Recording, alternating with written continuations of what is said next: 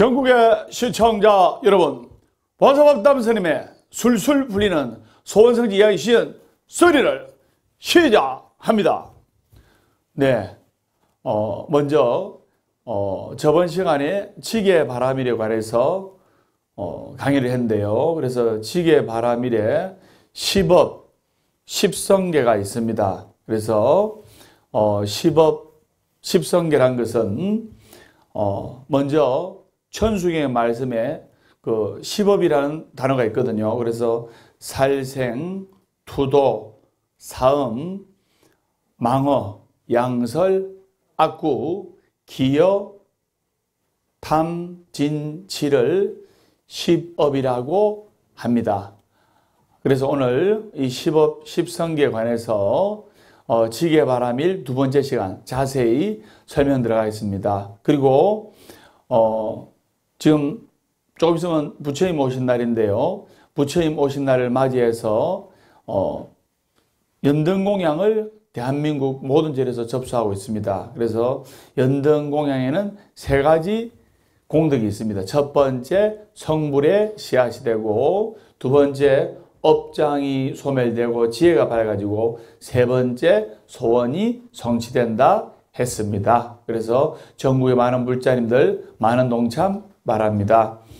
자, 그러면 시법에 관해서 말씀을 드렸고, 어, 첫 번째, 그러면, 어, 살생, 예, 살생. 그래서, 어, 지게 바람이라는 것은 개를 지켜야 한다는 덕목입니다. 그래서, 어, 살생하지 마라. 어, 죽어가는 미물을, 어, 살생하지 않는 것이 바로 십성계이고 살생은 바로 십업에 해당합니다. 그래서 불살생계이며 그리고 주가는 미물을 적극적으로 살려주는 것은 바로 살생의 반대 방생입니다. 방생. 그래서 방생 아주 좋은 공덕이라는 여러분 다 아시죠? 그리고 어, 십업의 두 번째 투도 투도란 것은 다른 사람이 주지 않는 물건을 취하는 겁니다. 훔치는 건데요. 그래서 도둑질을 하면 내세 인간으로 태어나도 재물의 어려움을 겪습니다. 그래서 소극적으로는 불투도이며 적극적으로는 보시자 부지런히 힘쓰고 노력하는 근면한 생활을 해야 되는 겁니다. 그래서 바로 어, 보시바라밀의 실천에 힘써야 되는 거예요. 그리고 이렇게 실천하는 이는 무한한 복덕을 짓게 되는 겁니다. 이것이 바로 불투도계입니다. 그래서 첫 번째 살생, 두 번째 투도, 세 번째 사음.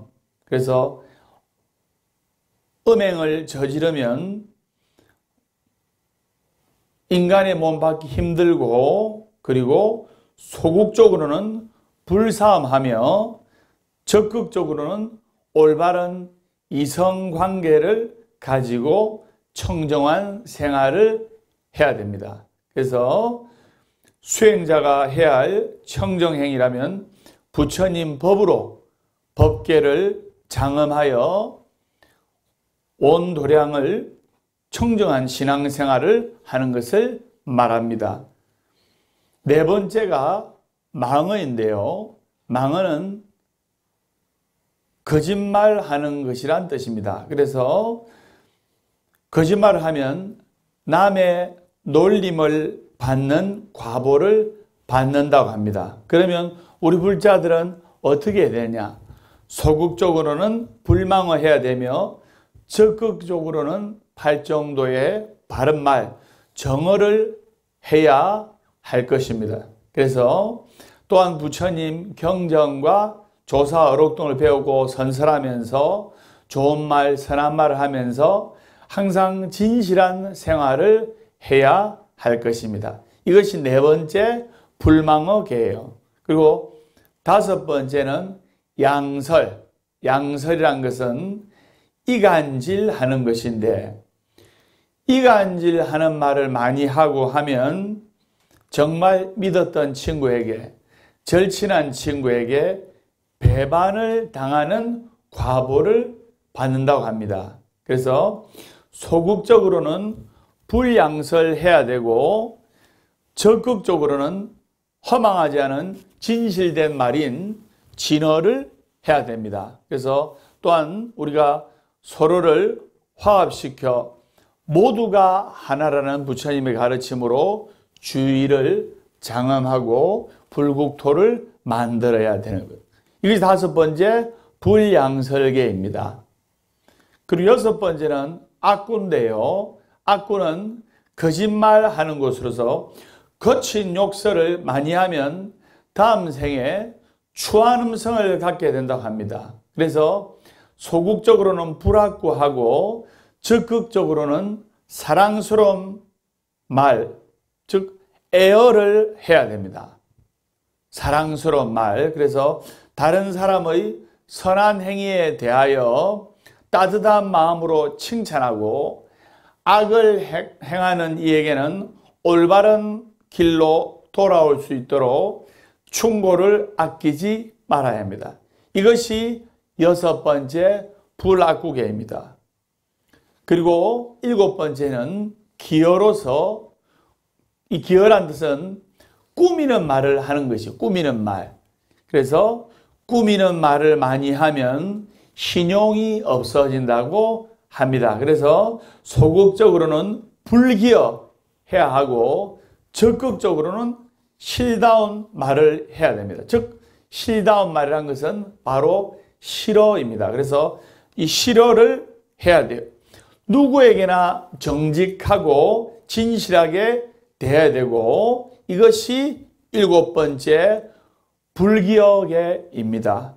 그러면 여러분들이 십선행을 하고 십업을 참여해서 십선행의 공덕을 짓고 그리고 육바라미를 행하고 하는 것이 바로 건강하고 행복한 제가불자의 삶을 살고자 하는 거예요. 그래서 잠시 쉬었다 가는 의미로 어, 건강에 관해서 한 말씀 드리겠는데 제가 불자로서 계를 지키고 어, 십업 또 십선행을 하고 그리고 육바라미를 행하는 것이 바로 행복한 제가 불자의 삶을 살려고 그러려면 건강해야 돼. 그죠? 그래서 어, 기적은 하늘을 날거나 바다 위를 걷는 것이 아니라 땅에서 평범하게 걸어 다니는 것이란 말이 있는데요. 이렇게 이야기하면 아니 이게 무슨 말입니까? 기적이란 것은 하늘을 나른다든지 우주를 나른다든지 음? 바다 위를 걷는 것이 기적 아닙니까? 그까지 그 땅에서 걸어 다니는 것이 뭐가 기적입니까? 이래 묻는 분이 계시는데요. 제가 실제로 얼마 전에 어, 중환자실에 어떤 분을 병문안 갔다 왔는데요. 60대 초반인데 정말 40, 50대에 명성을 날리고 이름을 날리고 매스컴에도 많이 나오시고 이랬던 분이 몇 년에 걸쳐 가지고 건강이 안 좋아져서 나중에는 자기 힘으로 할 수 있는 것은 걸어 다닐 수도 없고 자기 힘으로 이 밥을 떠먹을 수도 없고 전신마비가 와서 그냥 눈을 깜빡이는 정도에 불과했어요. 눈만 깜빡거리는 거예요. 그 정말 명성을 날리고 이름을 뒤흔들던 분이 그냥 아무것도 못 움직이고 병원에서 대소변 다른 사람이 받아내면서 눈만 깜빡거리는 거예요. 한때 빛나던 명성이나 이름과 또 재능도 다 소용없구나. 이런 제가 서글픈 마음이 들었는데요. 그래서 제가 차를 몰고 돌아오면서 과연 저분이 원하는 게 뭘까 생각했습니다. 명예일까? 인기일까? 명성일까? 아니야. 저 유명했던 분이 원하는 것은 단순히 자기와 마음 맞는 좋은 사람들과 밥 한 끼 먹고 차 한 잔 마시면서 그냥 평범하게 웃으면서 산책하는 것일 거야. 이래 생각을 하니까 정말 소소한 일상이 기적이고 아까 스님이 언급했듯이 기적은 하늘을 나르는 것이나 바다 위를 걷는 것이 아니라 땅에서 평범하게 걸어 다니는 것을 여러분들이 알 수가 있을 겁니다. 그래서 우리는 하늘을 날고 우주를 날고 바다 위를 걷고 이렇게 이런 기적을 이루고 싶어서 안 달라지만은 땅 위를 평범하게 걷는 것 좀 우리가 당연하게 알고 있어요. 그래서 정말로 우리가 인생에서 감사할 일은 아침에 눈을 뜨고 건강하게 벌떡 일어날 수 있음에 감사해야 돼요. 그러지 못한 사람이 너무나 많습니다. 그리고 또 지금 코로나19로 말미암아 전국에 전 세계에서 고통받고 아침에 눈을 떴을 때 일어날 줄 아는 그런 사람이 많지만 또 못 일어나는 사람도 그만큼 많아요. 그래서 아침에 우리가 벌떡 일어난 일이 감사한 이름을 이번에 스님은 또 배우고 또 느끼게 되었어요. 그래서 건강하면 다 가진 겁니다. 스님은 이번에 어 이렇게 절에서 기도하는 동안 108배를 많이 해서 예, 더 건강이 좋아지고 예, 더 정진력이 생겼습니다. 그래서 오늘도 일상에 감사하며 살아야 되고 또 지금도 감사를 느끼고 살아야 되는 거예요. 왜 그러면 우리는 늘 불행하다고 생각하는 거예요? 바로 그 이유는 욕심이 많아서 그런 거예요. 감사하지 못하는 사람에게는 기쁨이 없는 거예요. 그래서 감사하는 마음이 감사하는 상을 만들고 감사하는 마음이 감사하는 인생의 주인공이 되고 불평불만하는 마음이 불평불만하는 상을 만들고 불평불만하는 마음이 불평불만하는 상황의 주인공이 되는 거예요. 그것을 아셔야 됩니다. 그래서 여러분들이 건강하게 행복한 불자의 생활을 영위해야 돼요. 자, 그러면, 어, 십선행을 행하고 육바라미를 행해서 자손 대대로 복을 받고 또 자손을 구한 이야기를 지금부터 할까 합니다. 어, 이 소강절이란 사람의 이야기인데요. 이 소강절이란 사람은 중국의 유학자이고 시인인데 또 절실한 불자이자 유명한 역술가였어요. 항상 육바라밀에 또 십선행을 행하면서 어려운 사람들 많이 도와주신 분이에요. 그래서 이 소왕절은 젊어서 과거에 급제하고 20대에 벌써 상서의 지에 올랐고 문장이 아주 빼어나고 시도 잘 지었고 그 특히 주역 미래를 예측하는 예지력이 뛰어났어요. 그래서 주역에 밝았고 학문이 높아가지고 전국적으로 이름난 사람이었어요. 근데 공부하느라고 공부 산매에 빠져가지고 옛날에는 10대 후반이면 상투를 틀라 했는데 한 29쯤 돼가지고 20대 후반에 갔어야 겨우 장가를 가게 되는데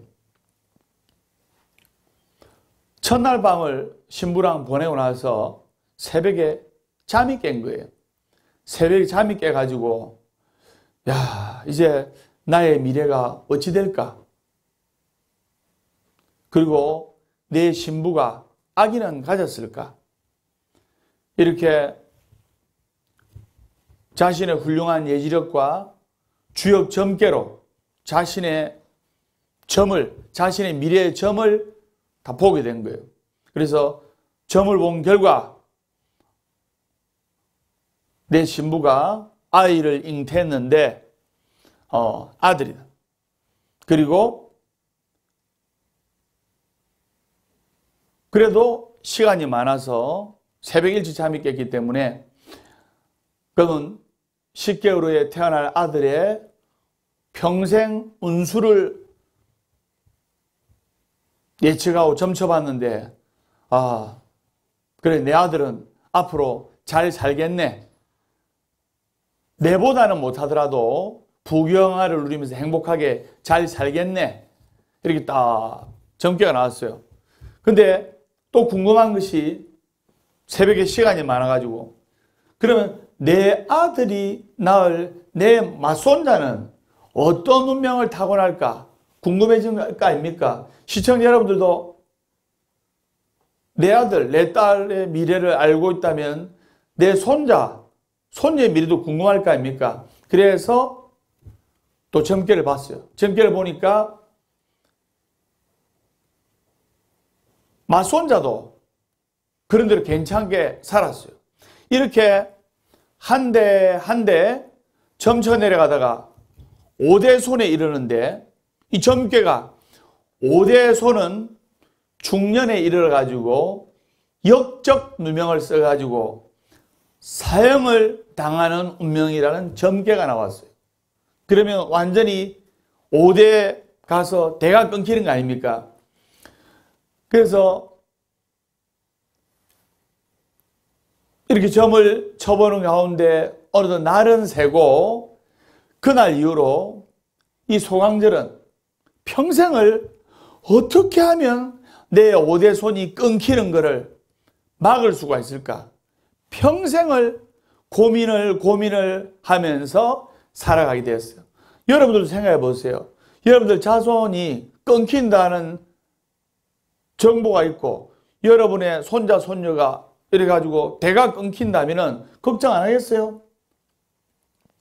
그래서 세월이 흘러 이 소강절도 늙어서 임종을 두게 되는데 임종을 다 할 때 소강절이 아들, 손자, 며느리, 손부들 다 모아놓고 비단으로 곱게 싼 함을 유언 비슷하게 하나 내주면서 앞으로 살아가다가 집안에 무슨 큰 일이 생기거든 그때 이 보자기를 풀어라. 만약 너희들 뒤에 안 좋은 일이나 비극적인 일이 생기지 않거든 너희들 뒤에 다행스럽게 넘어가거든 너희 만면일에게 물려주고 또 그 만면일이 대 별탈이 없거든 그 다음 때 만면일에게 전하고 대대로 이 함을 전하라 했어요. 그래서 그 유언은 실행돼 가지고 만며느리에서 다음 만며느리로 또 다음 만며느리로 함은 전달됐어요. 근데 정말 소강설의 예언대로 5대 손부에 와서 정말 큰 일이 나고 만 거예요. 어떤 일이 났느냐?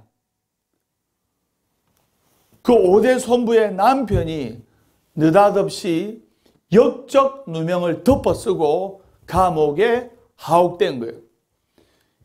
역적은 어찌 됩니까? 멸문지화를 당하기 때문에 멸문지화란 것은 그 남자 되는 대주는 죽여버리고 그 딸들은 남의 집 종으로 보내버리고 그리고 그 또 아들들은 또 남의 집 머슴으로 보내버리고 아예 씨를 말리고 대를 끊어버린 거예요.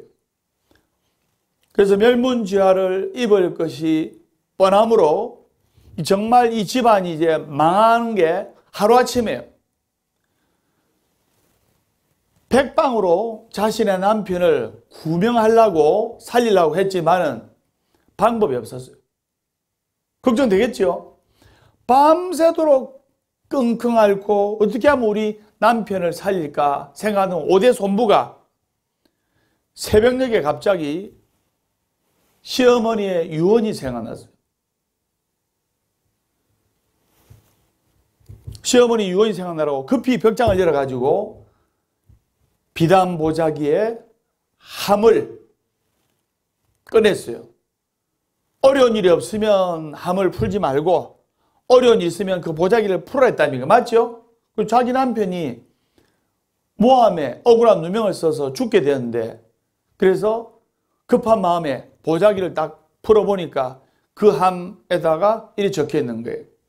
지금 잠시도 지체 말고 이 함을 형조상세에게 전하라. 내용이 적혀 있는 거예요. 손부는 급히 집사를 불러가지고 의관을 깨끗하게 갖춘 후에 함을 주면서 이 함을 형조상서를 찾아가서 절을 올리고 반드시 전해라고 했어요. 그래서 이 형조상선의 집은 이 오대 손부의 집하고 거리가 먼데 이 집사는 그냥 날아가다시피 해가지고 정말 밥도 안 먹고 참도 안 먹고 달, 달리고 달리고 해가지고 그 집에 도착했어요. 그래서 이 형조상선은 의관을 차려입고 이제 궁궐에 들어가려고 입고를 하려고 딱 의관을 깨끗하게 입고 나가려고 하는 찰나에 하인이 와서 아르기를 소강절 선생의 유품을 가지고 와서 나으리를 뵙고자 하는 사람이 왔습니다. 라고 하는 거예요.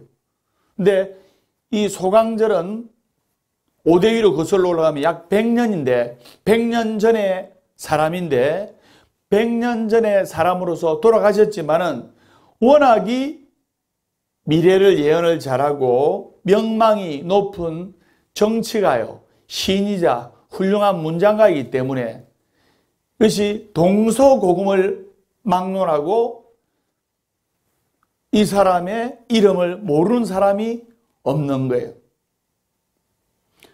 그래서 이 세상의 모든 이치를 한 손바닥에 깨고 있는 분의 선물을 내가 방 안에서 받는 것은 예의가 아니지 해서 여봐라 마당에 돗자리를 정갈하게 깔아라 그리고 내가 한쪽 무릎을 꿇고 정중하게 내가 그 유품을 받겠다.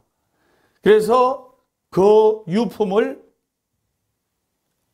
마당에 나와가지고 돗자리 밑에 하인이 돗자리 쫙 깔고 정중하게 딱 앉아가 한쪽 무릎으로 정말 소강제를 존경하는 마음으로 그 함을 탁 열었어요. 함을 딱 여는 순간 자기가 자기 안방에서 나와가지고 돗자리에 앉아가지고 함을 여는 순간 안방에 대들보가 대들보가 내려앉아가지고 순간적으로 안방이 안방의 기와가 무너져서 집안이 그냥 폭삭 주저앉게 된 거예요. 그래서 깜짝 놀란 형조 상서가 급히 함을 열어봤어요. 급히 함을 열어보니까 함 속에는 아무것도 없고 글자 열자가 씌어진 하얀 창호지 한 장만 댕그란 있는 거예요. 그래서 상사 재빨리 읽어봤습니다. 그 창호지에 적힌 글은 놀랍게도 뭐라 적혀있냐? 화려암양사 구하 오대손이라고 적혀 있었어요. 즉 해석을 하면 당신이 대들보에 깔려 죽을 것을 살려주었으니 당신은 적시 나의 오대손을 구해주라는 뜻입니다. 그래서 이 함에 적혀있는 글자대로 그 함을 받으러 나왔길래 이 상서가 살은 거 아닙니까? 맞죠? 그래서 이 형조 상서가 즉시 재수사를 해가지고 이 오대손을 정말 죄를 지은지 오대손이 억울한 일이 있는지 정말 역적의 일을 도모를 했는지 확인해라 하면서 재수사를 한 결과 그 오대손이 무죄가 밝혀진 거예요. 그래서 이 오대손의 무죄가 밝혀지고 나서 이 소강절의 예언이 더 빛을 발하게 된 거예요. 화려 암양사 구하오대손 당신이 대들보에 깔려 죽을 것을 구해 주었으니 당신은 즉시 나의 오대선을 구해주라. 소강절은 아내와 첫날 밤을 보내고 나서 새벽 일찍 잠을 깨어서 이제 10개월, 10개월 후에 태어날 자기 자식, 그 다음에 역학책을 보면서 밑에, 그 다음에 2대, 3대, 4대, 5대 손, 5대 손이 모함을 당해서 중다 깨가 나왔잖아요. 그러면서 그 자기 자식 조선을 구하기 위해서 5대 손자 대에 살아갈 모든 사람들의 점괘를 뽑아보고 대들보에 깔려 죽을 형조 상세의 운수를 알아냈던 거예요. 그래서 이 소강절의 5대 손이 역적의 누명을 벗고 이렇게 복직해가지고 어, 가문이 끊길 위기를 벗어난 거예요. 그래서 부모가 지극정성으로 기도를 하고 선업을 행하면 그 자식이 잘 되고 윗물이 맑아야 아랫물이 맑듯이 이렇게 육바라밀을 행하고 십선행을 행하면 자식이 잘 되며 자손이 잘 되며 대대손돈 잘 된다는 것을 아셔야 되는 겁니다. 자, 이제 본론으로 돌아와서 자, 육바라밀의 지게바라밀의 여덟 번째 탐, 탐, 탐은 탐욕스러운 마음을 내는 건데 탐욕이 많으면 욕심내는 마음이 점점점 더 심해져서 탐심이 늘어난다. 1번. 줄어든다. 2번. 몇 번? 그래서 탐심이 더 늘어난 거예요. 그래서 이러한 사람은 다음 생에 아기 지옥에 태어납니다. 아기 지옥. 그래서 배는 있다고 하는데 목은 바늘 구멍만 한 거예요. 그래서 소극적으로는 불탐, 탐내지 말며 적극적으로는 널리 무주상보시를 베풀어야 하는 거예요. 그래서 내 것이라는 아상, 네 것이라는 인상, 네 거다 내 거다 하는 중생상, 영원히 오래 산다는 수자상을 놓아버리고 모든 것은 잠시 나에게로 온 것일 뿐이며 인연이 다하면 회자정리라 사라진다는 사실을 올바르게 알아야 되는 거예요. 이것이 여덟 번째 개인 불탐욕계인 겁니다. 그리고 아홉 번째, 아홉 번째는 진으로서 성내는 것. 성냄이 많으면 작은 일에도 화를 잘 내는 난폭자가 되는 거예요. 청간 소음으로 살인 사건이 나고 아무것도 아닌데 어깨에 부딪혀 가지고 정말 돌아오지 못할 범행을 저지르게 되고 새 남편하고 같이 행복하게 살려고 얼부다들을 해하고 정말 돌이킬 수 없는 업을 짓고 하는 것이 많습니다. 이 모든 것이 성냄이 많아서 그런 거예요. 그래서 이러한 사람은 다음 생에 아수라에 태어난다고 합니다. 그래서 소극적으로는 썩내지 말며 적극적으로는 다른 일을 대할 때 항상 자비로운 마음으로 대해야 됩니다. 이것이 아홉 번째인 불진해계입니다.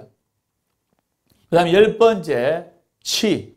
치는 어리석은 것이고 어리석음이 많으면 다음 생에 축생이 되거나 사람으로 나더라도 어리석은 바보로 태어난다고 합니다. 그래서 소극적으로는 어리석은 마음을 없애야 하며 적극적으로는 슬기로움을 행하는 지혜를 닦아야 하는 거예요.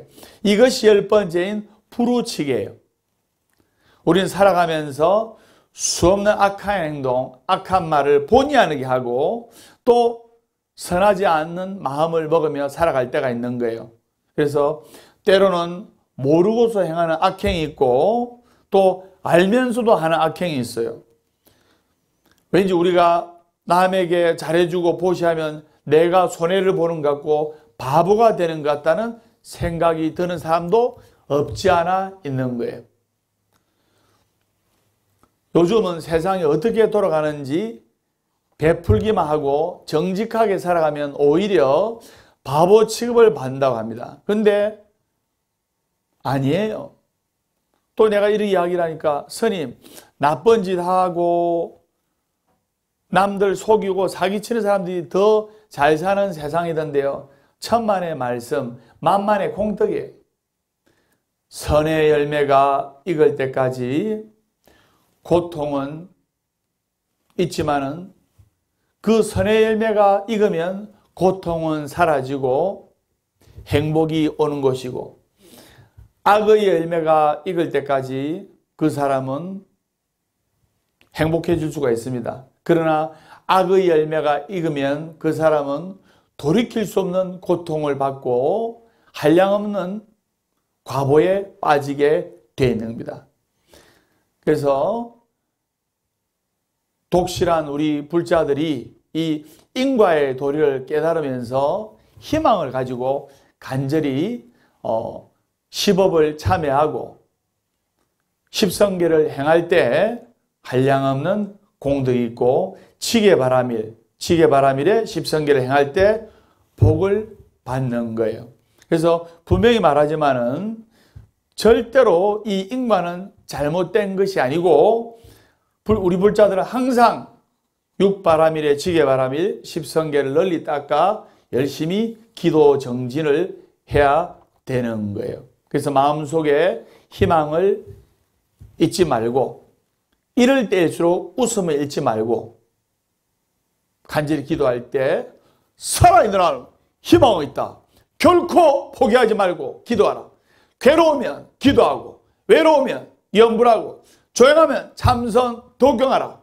월요일은 원래 없고 화요일은 화가 나도 없고 수요일은 수시로 없고 목요일은 목이 터져라 없고 금요일은 금방 없고 또 없고 토요일은 토실토실하게 웃고 일요일은 일 없어서 웃는다. 행복하기 때문에 웃는 것이 아니라 웃기 때문에 행복한 것이다. 절대로 할 수 없는 것을 절대로 한다. 이것이 부처님의 법이다. 어제는 바꿀 수 없지만 오늘은 우리가 만들어 나가는 것입니다. 그걸 여러분들이 아셔야 됩니다. 어, 오늘 지게바라밀의 십업 또 십선행을 우리가 공부하고 있는데요. 그래서 계를 잘 지켜야 됩니다. 이 계를 지킨다는 것은 바로 아름다운 동행이자 아름다운 울타리자 성스러운 구속이에요.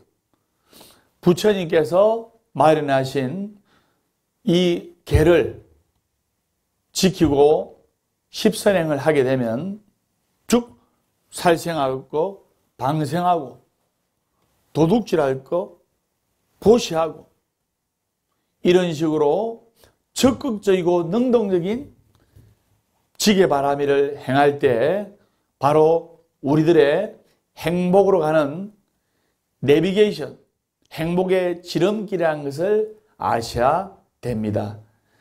그래서 지게바람이라는 것은 중생 세계에서 해탈과 열반의 세계로 생사고의 바다를 넘어 깨달음의 피안으로 건네주는 묘한 계율이에요. 그래서 우리가 사바 세계의 이 고통에서 행복의 저 언덕으로 건너가기 위한 바람일 즉 고통의 바다에서 행복의 저 언덕으로 건너가기 위한 바로 뗏목에 비유할 수 있는 것이 지게 바람이래. 그래서 부처님께서 가르쳐 주신 개를 지키고 육바라밀을 행하면서 사성제 육바라밀 팔정도 십이연기법을 행할 때 한량없는 복덕과 한량없는 공덕을 이룰 수가 있는 거예요. 요즘 어, 몸과 마음이 많이 힘들다고 합니다. 여러분들 이럴 때일수록 용기와 희망을 잃지 마시고 여러분들은 육바라밀의 지게바라밀을 청정히 행하고 그리고 지게바라밀을 하나씩 하나씩 십업을 참여하면서 십성계를 행할 때 한량없는 복덕과 공덕을 받는 거예요. 그래서 불교는 수동적이고 소극적인 종교가 아니고 아주 적극적이고 능동적인 종교예요. 살생하지 마라. 이것은 소극적인 자비이고 죽어가는 미물을 적극적으로 살려주라. 이것이 바로 능동적인 방생. 남의 것을 탐하지 말라. 이것은 소극적인 행위고 적극적으로는 뭔가 마음이 힘든 사람들 위해서 적극적으로 베풀어라. 보시해라. 그래서 이 불교는 능동적이고 긍정적이고 진취적인 종교란 것을 여러분들이 아셔야 됩니다. 그래서 내 마음 속에 감사하는 마음을 가지고 진심으로 우리가 상구보리 하와 중생 행주자와 어묵동정 할 때 여러분들이 부처님의 법을 TV에서 보시고 ARS 단통 눌러주시고 이럴 때 부처님의 법을 배우고 나아가서는 전도를 해야 됩니다. 부처님 없는 불교가 있을 수가 없고 지금 요즘 TV에 붓다 나오지 않습니까? 그리고 스님 없는 불교가 있을 수가 없고 그리고 부처님의 가르침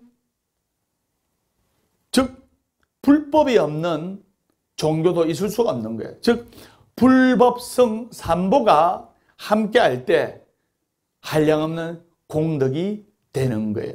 그래서 탐진치 삼독심을 지게바라밀에 십업을 참여하고 십선행을 행하면서 이 탐진치 삼독심을 불법성 삼보의 위신력으로서 소멸을 해야 돼요. 욕심, 성냄, 어리석음으로 말미암아 고통과 괴로움이 찾아드는 거예요. 스님은 부처님과 불자들을 이어주는 교량적 역할이에요. 전국에 훌륭한 스님들이 계시길래 이렇게 우리 불자님들이 BTN을 의지하고 부처님을 의지하고 불법성 삼보를 믿고 따르는 거예요.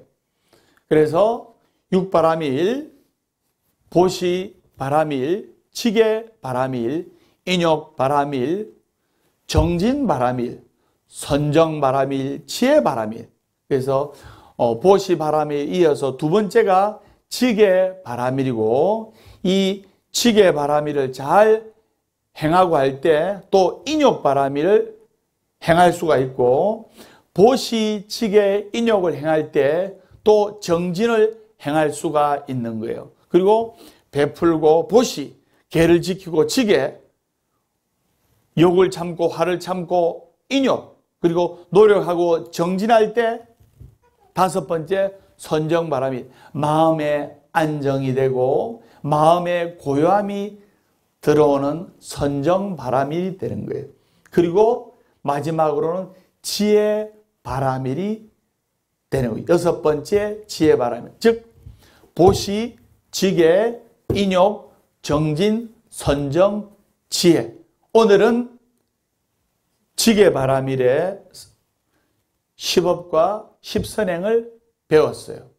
그래서 불교는 소극적이 아니고 능동적이고 적극적인 종교란 것을 한 번 더 깨치시고 여러분들이 이 불법성을 삼보를 가슴에 새겨서 술술 풀리는 법담 스님과 함께 술술 풀리는 법문을 보고 듣고 행하시고 또 집에서는 사경하고 기도하고 또 절하고 절에 와서는 또 같이 기도 또 연불 독경 수행함으로써 업장을 소멸하고 한량없는 부처님의 공덕을 받아서 고통의 이 언덕에서 행복의 저 언덕으로 바람이 날 수 있는 불자가 되기를 기원하면서 보아서법담 스님의 술술 풀리는 소원성취 이야기 시즌 3 지게바람일 다음 시간에 밝고 건강한 모습으로 뵙도록 하겠습니다. 우리 다 같이 인사하겠습니다. 완전히